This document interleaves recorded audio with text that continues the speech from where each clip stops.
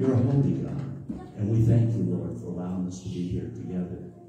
The Bible says, wherever two or three will gather in the midst, the Lord said he would be here himself. And I believe we're, we're here together and you're here with us today, Lord.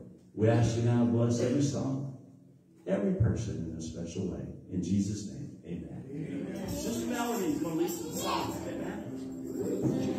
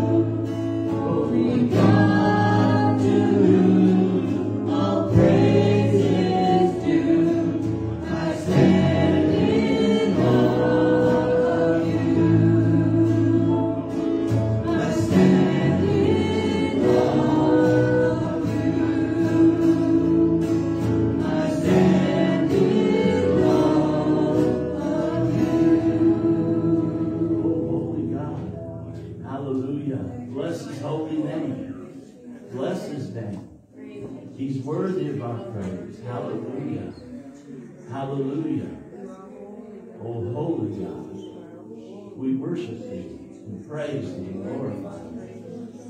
We thank you, Lord God. Hallelujah. Hallelujah. Just reach up to heaven and just ask God to touch you today. Bless you. Amen. Bless them, Lord. Bless us today, oh God, as we come before thy presence with thanksgiving in our heart. And we're gracious.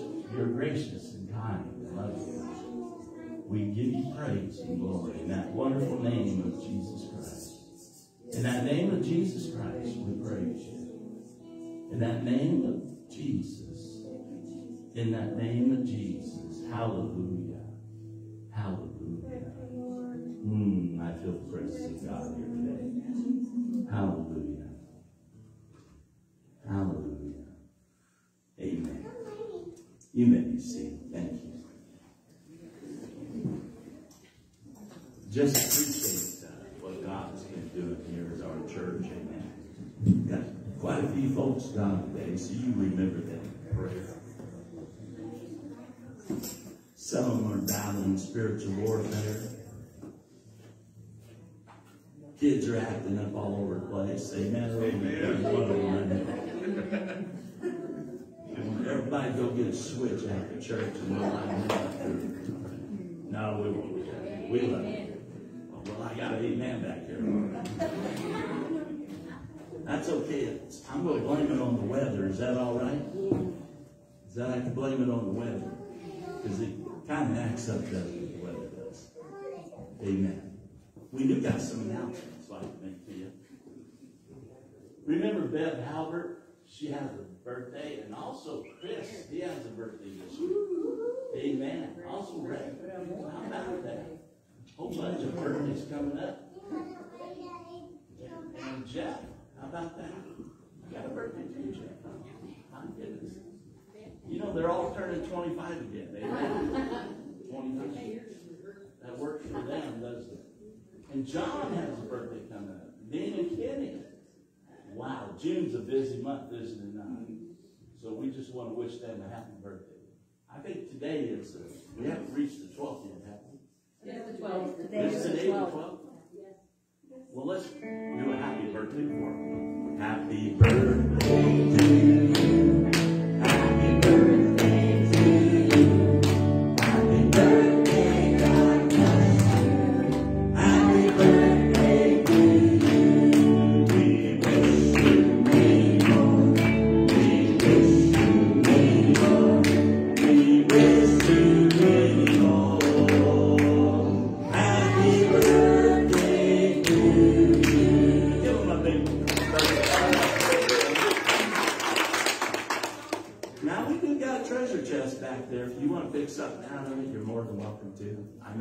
Know there's some bookmarkers in there, things like that.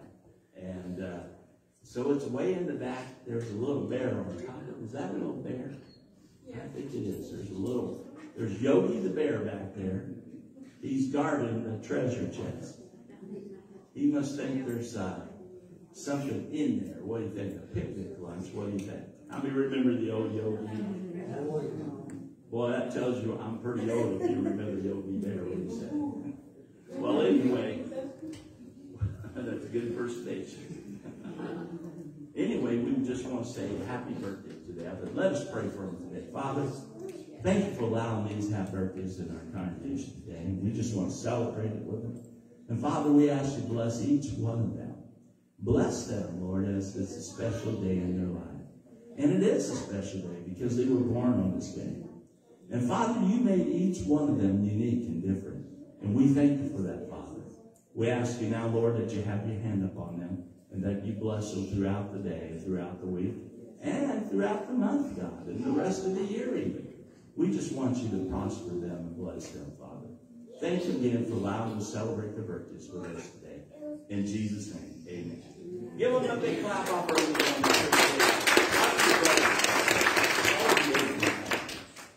Amen. I feel so excited. Melody's going to take you all out to dinner today, so don't worry. she didn't say that. Because bean soup. She said you get bean soup. I what we're having for Well, June the fourteenth is prayer meeting, and June the fifteenth is Bible study. And guess what? Father's Day is what? June nineteenth. Next week, right? Next week is Father's Day, so I guess the kids got something coming up for the dads. So guess what? All you dads, make sure you're here. Kids been working on some projects for you. At least I think. Am I right when I say? Yes.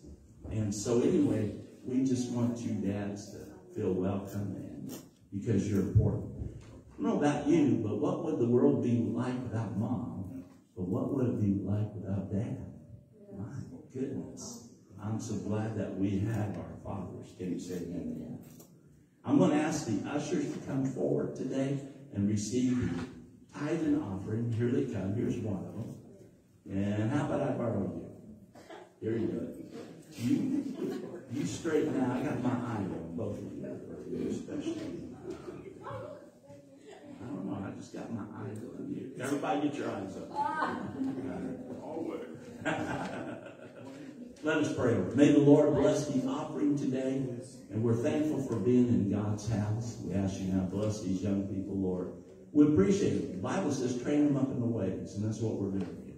We're training them up in the ways of the Lord. And Lord, we thank you for them participating with us today. And Lord, we ask you to bless this offering for its intended use today. We thank you in Jesus' name. Amen and Give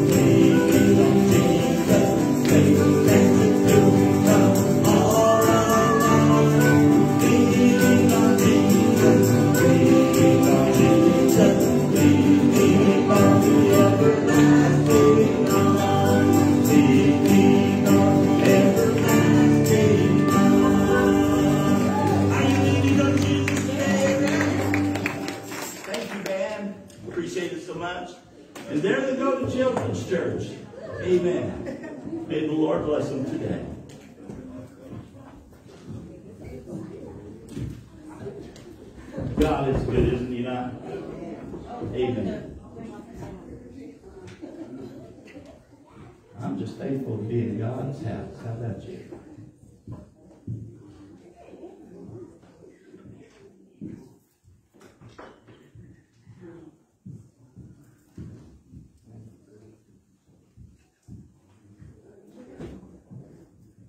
The Lord is good.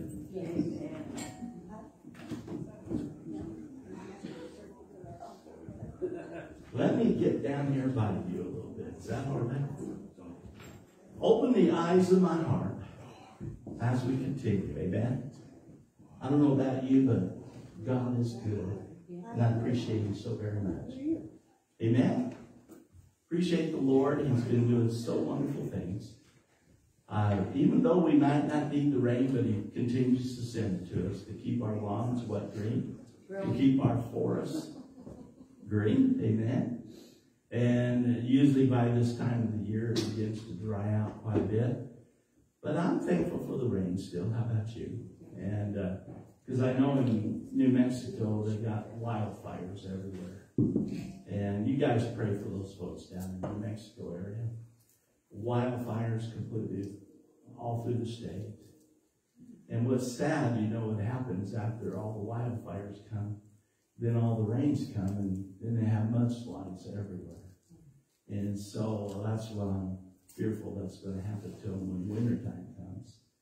And then you'll be reading about massive mudslides everywhere. And, you know, I'm just thankful that God keeps enough rain around here just to keep everything green and looking good. Can you say amen to that? Amen. Aren't you thankful for that? It's kind of sometimes when it does rain, it, you don't get the things done you like to get done, like things outside. The other day, Sister Brooke jumped on the lawnmower and, and mowed the lawn. I said, well, it's going to rain tomorrow. I can feel it coming. Sister Brooke mowed the lawn. Can you say that?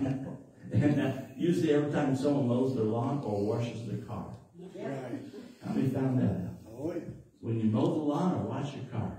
So if you want it to rain, it hasn't been raining in a while, get out and wash your car. Amen. I guarantee it probably will rain. And that's the way it usually does. But I want you to know God is opening our eyes of our hearts. Why? Because I believe He's planning something big. I mean, something that is huge. Something that's never has happened before. God is planning this. And I believe it's going to be a great awakening, a great revival throughout the land. I believe God is going to pour out his spirit in these last days upon all flesh, as the Bible speaks about it in the book of Acts, chapter 2. For it said that in the last days that he will pour out his spirit upon all flesh, upon everyone. He said, Your sons and your daughters shall prophesy and speak in tongues. Can you say amen? Your old men, your young men shall see visions, and your old men shall dream on dreams before the great and notable day of the Lord. And I've been having dreams and visions of things that I believe are going to happen. And you and I need to just strap ourselves in with the Holy Spirit. Amen. And get ready for the ride of our lives. Can you say amen? Because I believe the Son of God is going to come back. How about you? But before he comes, he wants us to open our eyes. Open our eyes and see the coming of the Lord. Amen. Open the eyes of our heart that we'll understand these things. That he's wanting us to participate in true worship. God wants us to obtain true worship with him. Amen. And today I felt the Holy Spirit. How about you? Mm-hmm. It's becoming stronger and stronger. And as the Spirit becomes stronger and stronger, so will the spiritual warfare. It will become stronger and stronger in your lives.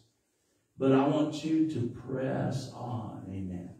Press on and press deeper with the Lord. Walk closer to God now than you ever have before. Amen. Walk closer to the Lord. Press in and allow the Lord to bless you. Because guess what? That is the whole reason the enemy has brought spiritual warfare against you to drive you away from the presence of the Lord. You don't want him to drive you away. Amen. When he begins to try to run you off or chase you off, that is the time you need to press in and say, I'm going to serve God no matter what. I'm going to serve God no matter what. I don't care if gasoline goes to $10 a gallon. I'm going to praise the Lord. Can you say that? I'm going to serve God. I don't care what it costs for food. I will praise the Lord. And if I run out of food, All I need to do is pray, and He will feed, He will fill the basket with fishes and bread. Can you say amen? Our God shall supply our every need according to His what? Riches. His wealth, riches, His wealth and glory. We'll paraphrase it a little bit. His wealth and glory. God is the supplier of our needs. Amen? Amen. I found out I found out when man gets involved, it falls apart. But when God takes over, it comes back together again. Can you say amen? Would you pray with me today, Father? I ask you now to touch me and anoint me. In the name of your Son, Jesus Christ, whom I love and whom I honor and whom I serve with all of my heart, my soul, my mind, and my strength. I serve him. He is my Lord, and you are my God, and I worship and praise you, my Father, who art in heaven. Hallowed be thy name. Thy kingdom come, and thy will be done. Father, I thank you for this time to come together. I ask you now to anoint me. Anoint this vessel of clay, that I may become the vessel that you want me to be, that I may do God's will and God's bidding in these last days. Oh God, touch the eyes of my heart. Touch my heart, God. Touch the eyes of my heart, God, that I may see your wondrous works, that I may see your wonderful will, that I may see your glory and your honor, O God, that I can praise you with all my heart, with all my soul, with all my might and strength. Open my eyes, O God. Open my eyes. Let him or her that heareth, that listeneth, they may hear what the Spirit may reveal to them. In that name of Jesus, I praise you. Amen, amen. amen. As we continue, Jesus said in Matthew's Gospel, chapter 12, verse 34, O generation of vipers, how can you being evil speak good things? For out of the abundance of the heart the mouth speaketh. A good man out of the good treasure of the heart bringeth forth good things. An evil man out of the evil treasure bringeth forth what? Evil things.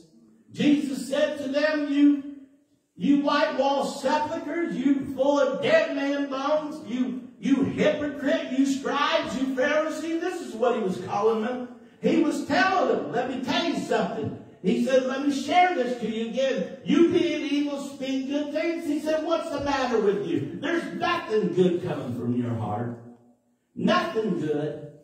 As he rebuked those people, as he rebuked the elders of Israel, let me tell you something. The only one that's good is God. Can you say amen? Hallelujah. Only God is good.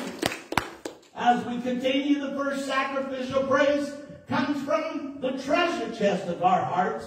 The psalmist said in chapter 9 of the book of Psalms, verse 1, I will praise thee, O Lord, with my whole heart. I will show forth all thy marvelous works. I will be glad and rejoice in thee. I will praise thee. I will sing praise to thy name, O thou most high, when my enemies are turned back. I'm going to praise you, Lord, because it's out of the treasure of my heart. My treasure is my heart, my friend. Can you say amen? Jesus said, why are you trying to save up treasures in this world where moth and rust corrupt and destroy? He said, don't try to save it. He said, save it in heaven because he said you'll be what? Very wealthy. Can you say amen? I don't know about you, Christian friend, but if there's anything in my heart, it's in my treasure chest. Can you say it? It's the treasure that God has gave me. It's that spiritual treasure that you and I need to seek in these last days. You and I need to offer up what the sacrifice of praise. Can you say amen? The sacrifice of joy. Can you say amen? The sacrifice of peace in our life. I don't know about you, but God wants you and I to sacrifice and get them worship. Can you say amen? But how can I do that, Pastor? By turning your attention back to God. Amen. There's so much distraction in the world right now. Put your phone down. Amen. Hang it up. Can you say that? Hang it up. Amen. Take out time for God. Take out time and pray. Take out time and thank God for what He's doing in your life. Amen. I don't know about you, but if you got a car you got gas in it, you're doing good. Can you say that? Amen. You got a home and you got bread on your table, you're doing good. Come on, say amen. Amen. Because I see a lot of homeless out there. Let me tell you, they're just sitting there on the sidewalks and looking at the world going by them. And let me tell you something, a lot of them just don't have nothing. One day, me and Sister Britt was parked somewhere. I forgot where we were parked at. And we watched one guy come by with three shopping carts. And he was pushing one and dragging one with his hand like this. And he'd push that one up about 20, maybe 30 feet and pull the other one with it. Then he'd go back and he'd reach back about 30 feet or more and grab the third one and pull it up to where the other two were at. And I shared with Sister Pruitt, I said, everything that man has in the world is in those three shopping carts. Mhm. Everything that man has, it's in those three shopping carts. I don't know about you, friend, but if you can come to church and still give God glory, isn't it worth it? Can you say amen? Amen. Is it, it might be a sacrifice to come, but it's worth it. It's worth it, my friends. Why? Because God loves us. He loves each of us. And it's up to you and me to offer that sacrificial praise, to have to offer that sacrificial worship. I don't know about you, but we'll get into the details here in a little bit uh, on more of the subject. Amen. As we must offer sacrificial praise, we're not to offer fake worship. Matthew chapter 15, verse 7. You hypocrites! What Isaiah the prophecy said to you. He said, This people draw nigh with their mouth. They honor me with their lips, but their heart is far from me. He said, You're acting like you're giving God praise, but you don't really mean it. I don't know about you, but when you and I raise our hands, we should be meaning it. Can you say amen? We should be meaning what we're saying. When you say, I love you, God, that means you need to mean what you're saying. Jesus said there's a generation that is, they're offering fake worship. They're offering fake praise. They're offering a counterfeit. Let me tell you something. God doesn't want a counterfeit. He wants you to praise Him. He wants you to glorify Him. Amen. He wants you to thank Him for everything He's done for you. But we live in an unthankful generation. Some say amen. Amen. Amen. The Bible says in the last days they'll be unthankful. They'll be unholy. They care more about the pleasures of themselves than the pleasures of God. Amen or oh me? Are we living in a generation that has forgotten what God has done for us? Yes. Are we living in a time where we don't offer the sacrifice of praise and worship to God? Are we living in a day where the church is far asleep? As in the Gospel of Matthew, there's ten virgins. Five had oil, five had not, but they were all asleep before the announcement of the bridegroom. Are we asleep at the wheel? Are we asleep at the podium? Are we asleep as we worship God? Wake up! Wake up!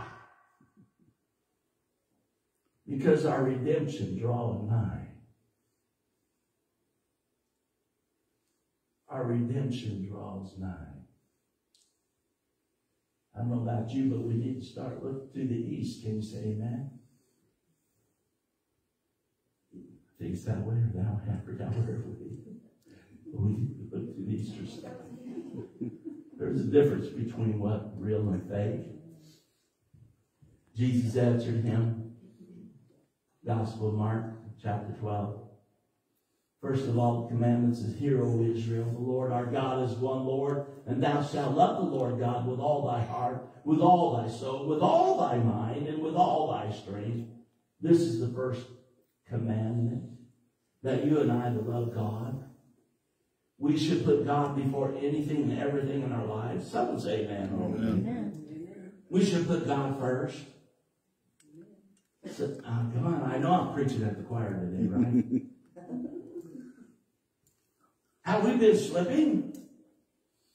Have we been slipping and followed short? We should put God first because He put us first in His life. He created everything first before He created us. You know He created us last and gave us dominion over the whole entire world. First day he created the heavens and the earth. How many remember that? Mm-hmm. Next time he created the light and all that stuff. And then he created all the trees and the great seas and the herbs and fish and animals and finally got to what? Day number six and he created mankind. He said, let us make man in our own image. And we'll give man dominion over all of this. And God watched Adam as he began to name all the creatures that he created. The elephant, the whales, everything. And whatever Adam called it, that's what God called it. I don't know about you, but God created everything before us. And after he created us, he gave it all to us. That's a wonderful God. Can you say that?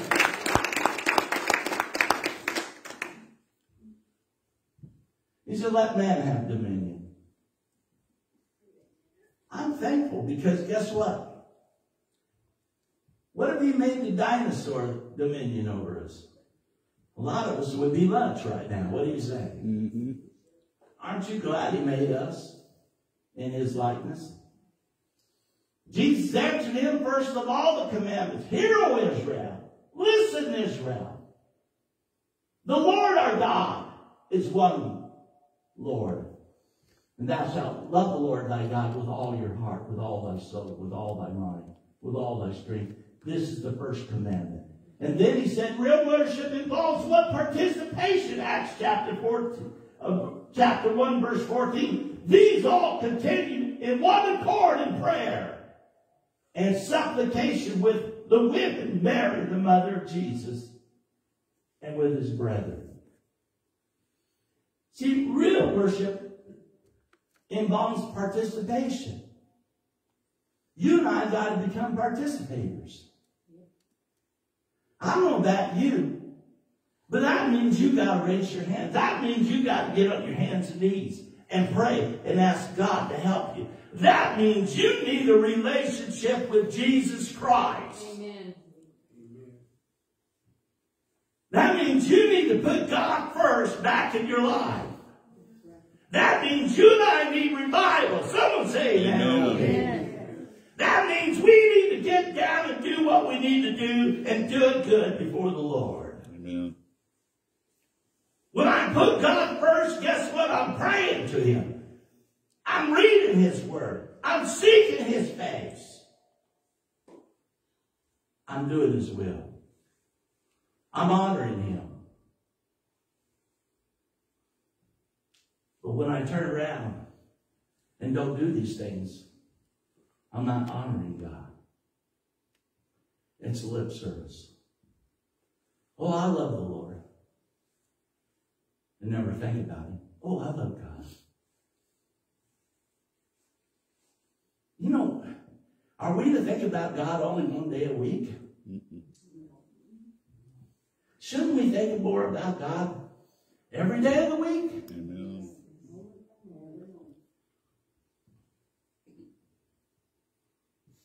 Real worship involves participation. These all continue with one accord in prayer, supplication, with the women, Mary, the mother of Jesus, and with his what? His brothers. True worship begins with what? Being a participator. It means come together and pray. The Bible said that they continued in what? One accord. They dropped everything else out of their life and came together and had prayer.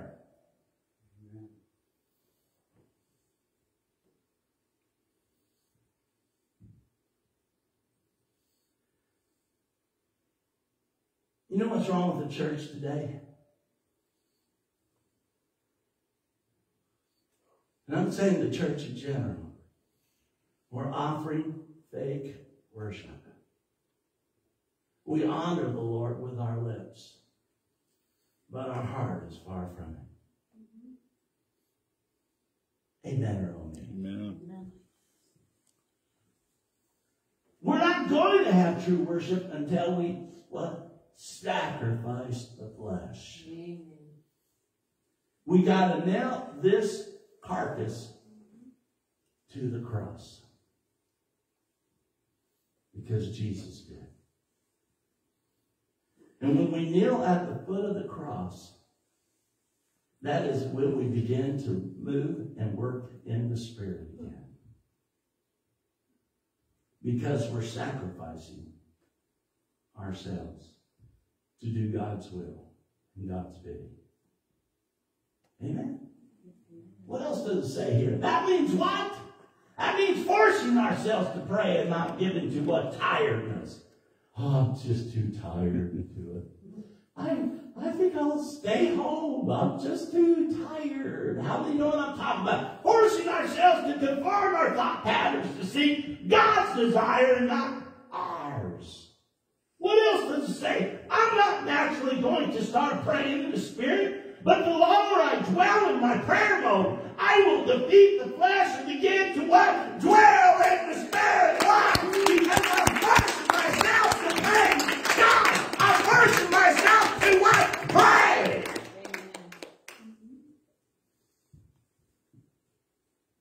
It's hard to make this flesh become obedient to the Spirit.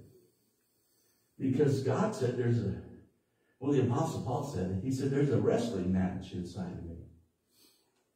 He said the Spirit is willing, but the flesh is weak. How many of you have been having battles in the flesh lately? Well, we can probably all raise our hands, yeah. I just don't, I just don't feel like praising God today. I don't feel like going to church. I don't feel like should go back there now and pray with the pastor when he has prayer time. I want to do something else. Hello? There's a lot of things we could think of. How many have God woke up in the middle of the night? Oh God, I want to sleep. God says, I want you to pray. So I'll get up and go pray. Why? Because that's what he wants. He's not going to let me go back to sleep until I pray. I've had that happen I don't know how many hundreds of times. I said, You're not going to let me go back to sleep, are you? No. Not until you pray. So everybody that he brings on my mind, I'll begin to pray for. Why? Because this is what God wants me to do. The body is naturally tired. It's naturally worn out. It's naturally defeated. The flesh doesn't want to pray, but the spirit wants to.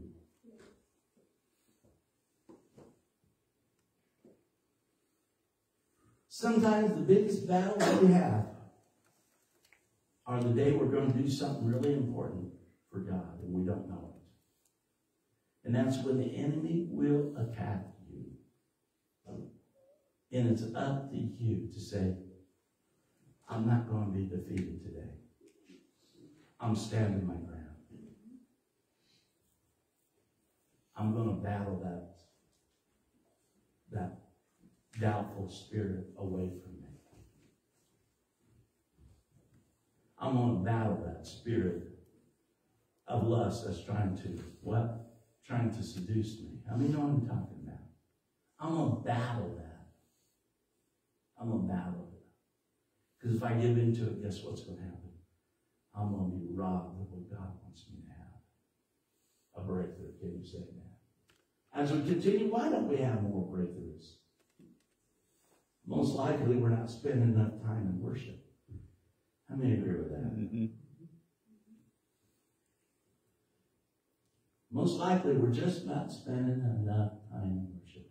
I know it's hard for Melanie to get up and lead songs and, and sing song after song. A lot of times, you don't know those songs. And I understand that.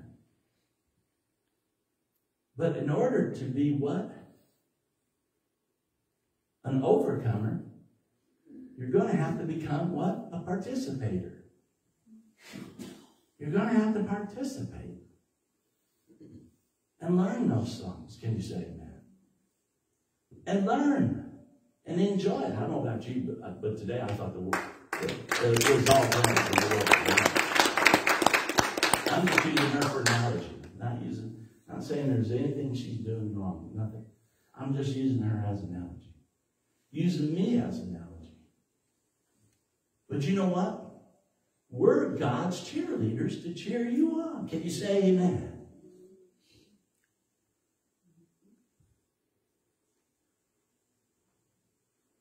It's important that you and I, what? Have those breakthroughs. And the only way we're going to have that breakthroughs is we draw nigh to God. Jesus said, draw nigh to me, and I will draw nigh to you. You and I must come closer to God when we come into worship. We must let everything else go out of our thought patterns.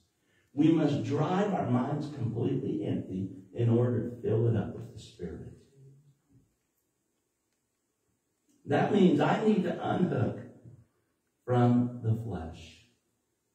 Because the flesh will bring up everything there is. Oh, I forgot to get that today. Oh, I got to get it after church. Oh, I got to. How many know what I'm talking about? We got to come and empty our minds in order for God to fill our hearts. And not only what that's going to happen is what? Worship and praise Him and glorify. Oh God, I love you. I love you, God. I love you. I love you. How many love God? How many feel the Spirit here? Wow, His Spirit is so strong. I love you, God. You know why I know it's strong? Because guess what? The enemy is trying to make you tired. Hello? That's why God's Spirit is strong. Amen. I can feel it. It's going to get stronger and stronger and stronger. I've seen the Spirit so strong in church services like this that it becomes so cloudy and dark in the sanctuary that you can't see. You could take a knife and cut the look like fog. You could like take a knife and cut it. That's how thick it is. And let me tell you something. When you see that type of anointing called the Shekinah glory of God, then you're going to see breakthrough, breakthrough, breakthrough, breakthrough, breakthrough. You're going to see your family. You're going to see your whole entire family come to God. You're going to see all your friends come to church and come to God. You're going to have breakthrough after breakthrough. You're going to get so filled up in the Spirit, and you say, wow, what is this? I've never had this before. What else? Why don't we have more breakthroughs?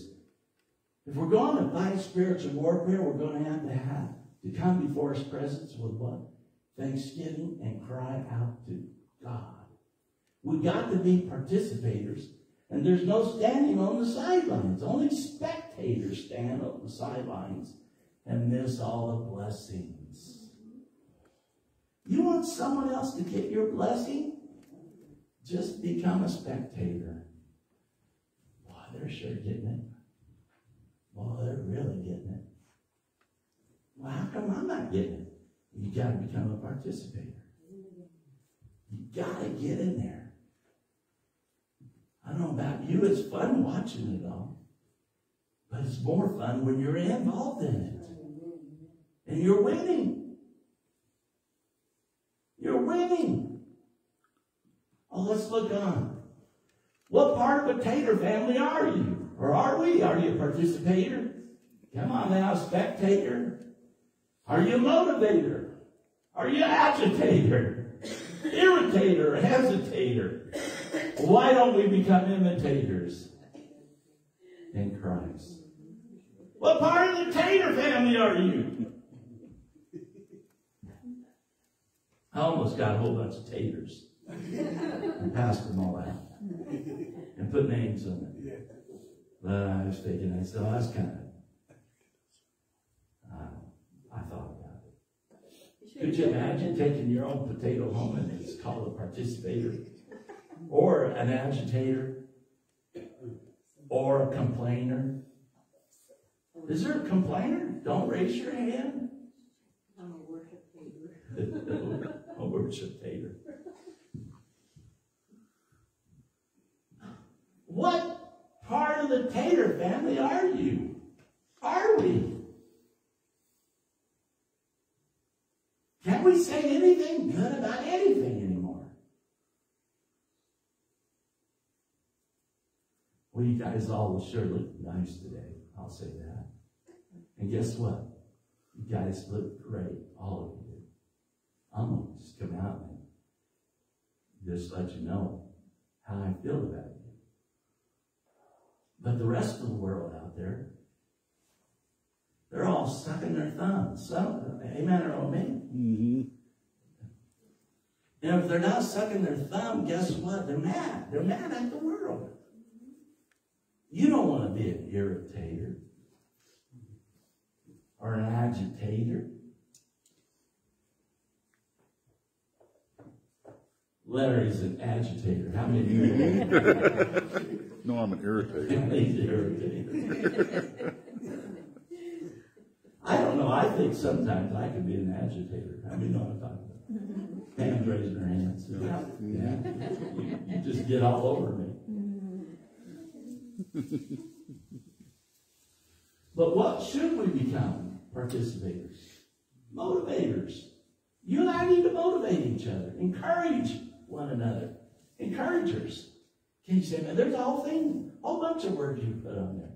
I looked on there, I, I, I Googled it, the last word tater. You'd be surprised at how many words came up with that last part of that adjective or pronoun, whatever you want to call it. And, uh, but it all comes down to this. Whatsoever you do, do it heartily unto the Lord. Can you say amen? Amen. Whatsoever you do, do it heartily unto the Lord. This is what God wants you to do. Amen. I think that's. God is looking for men and women that will uh, serve him. Ezekiel 22, 30. I sought for a man among them that should make up the hedge. Stand in the gap before me for the land. That I should not destroy it, but I couldn't find anyone. He said, I couldn't find no one. God's looking for someone to stand in the hedge, stand in the gap. Are you that person God is looking for? Are you that person that wants to make a difference? I don't know about you, but before I became a preacher, I told God I want to make a difference in the world. Man, I hope I have. Can you say amen? I hope I have. That's the one thing that why I became a preacher. I went home, told my dad, I said, God, save me tonight. Fill me with the Holy Spirit. I said, I think he called me to be a preacher. My dad just grew totally silent, didn't say a word. I don't know if I was an agitator that night or a motivator, but I can tell you one thing. I was sure bold in the Lord. Can you say amen? I was bold. And went on and told my family I became a Christian. You and I need to get that boldness back. Get that boldness back. God's looking for men and women. Stand in the gap. God is looking for people who will be called by his name. Second Chronicles 7 14. If my people, which are called by my name, shall humble themselves and pray and seek my face and turn from their wicked ways, then I will hear from heaven. I will forgive their sin. I will heal their land. Now my eyes shall be open and my ears attentive to their prayer. That is made in this place. That's when we will have breakthroughs. It's when his people who are called by his name will humble themselves and seek his face. That is when we will have what? Breakthroughs. Breakthroughs, my Christian friend. God's looking for people who will be called what? By his name. And I think it's amazing when someone picks you up, picks you out of the crowd and says, Are you a Christian? I said, Yeah. Said just shows all over you. I said, Well, thank you. And that's what it's supposed to do. My light should shine that others should see it. There's a lot of things that help define us and help us draw closer to the Lord. And guess what? The greatest thing that defines us the most is our prayer and our humbleness before the Lord. Amen? He said, My people which are called by my name, my name shall humble themselves and pray and what? Seek my face. Seek my face and turn from what? Turn from the things they used to do that are wrong. I don't know, I don't know about you, but there's a lot of things that I don't do. Why? I turn away from them places. I turned away from them because it's not the right place to go to.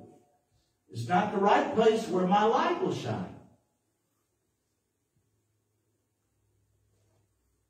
There's some places I just don't go, won't go. Why?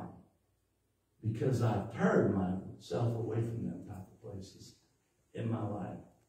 And guess what? If you're having a problem with that, you need to come before the Lord and humble yourself and pray and seek his face and turn from those wicked ways. Then I will what?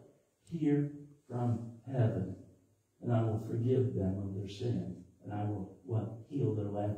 And guess what? Once God forgives you of it, heals you, guess what? He doesn't expect you to go backtrack back into that lifestyle again.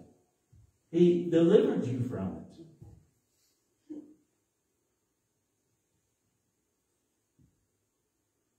I don't know about you, but one time you were super corrupt person. Like Zacchaeus was in the Bible. The Bible says he was a tax collector, but he, he done so much evil and so much wrong that he told the Lord, he said, because of what you did in my life, I'm going to, if I took anything from any man, I'm paying back fourfold. Jesus said, Surely you have found salvation. Turn from your wicked. Turn from it, can you say that? Turn from your wicked paths. Turn away from it. Humble yourself to God. Humble yourself to God. The Apostle Paul said, Philippians 4 13, I can do all things through Christ, which strengthen me. I can do all things through Christ who strengthens me. I can do this. I can live a holy life. I can live a life filled up with the Spirit. I can live a life devoted to Jesus Christ and His church. I can live a life before God. Why? Because I can do all things through Christ who strengthens me. See, I can't do it without Christ. But I can sure do it with him. I can do it with him, brother. I can't do it without him. I've already tried that and failed. How many else rather than say? Mhm. I don't know about you, but open the eyes of my heart, Lord. Open the eyes of my heart. Open the eyes of my heart. If I want to see God, I'm going to have to open his eyes up. I'm going to have to see what God wants me to see. And not what I want to see. I don't know about you, but I like to put shades on. How many know what I'm talking about? to block out some things, right? With God, He wants you to take them glasses off. He wants you to open your eyes up. Amen. Take them off. Take those eye coverings off and look. Look out of your heart. Look out of your heart. Can you say that? Look out of your heart. For the Lord loves you. Would you pray with me? Father God, I thank you. I thank you for allowing us to be here today. I just want to praise you and glorify you. I thank the Lord for being here today. Oh Lord, I thank you for letting me be part of this church and be pastor here. And Lord, maybe there's someone here today that their heart needs to be open.